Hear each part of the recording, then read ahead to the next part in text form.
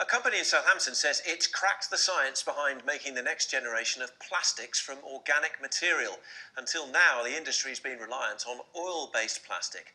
Scientists now claim the future for plastic manufacture could be a chemical extracted from plants and trees. Here's our business correspondent, Alastair Fee.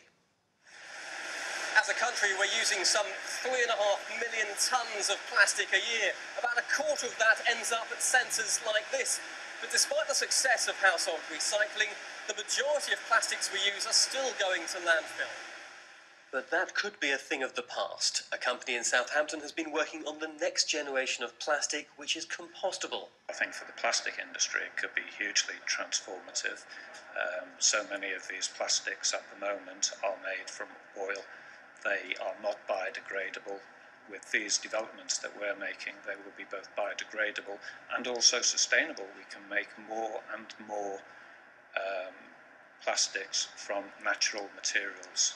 The scientific breakthrough has taken place at the University of Warwick. It's here they've isolated a chemical from plants they say will mean they can rival conventional oil based plastics. We've demonstrated the feasibility. On the laboratory scale, we've shown that this is feasible which nobody's done before. Um, but the next stage is to optimize the yield of these uh, chemicals and scale it up. Uh, industrially, this has to be done on a much bigger scale, and you have to work out uh, and optimize a process for doing that. The move towards a new generation of plastics is prompting debates in the industry. Some question how biodegradable it will be and to what extent it will be recyclable. There's also concern about combining them with existing plastics in the system and the effect that will have at centres like this. The industry says they're still a few years away from the manufacture of biodegradable household items. The next stage is to scale up the production of organic chemicals.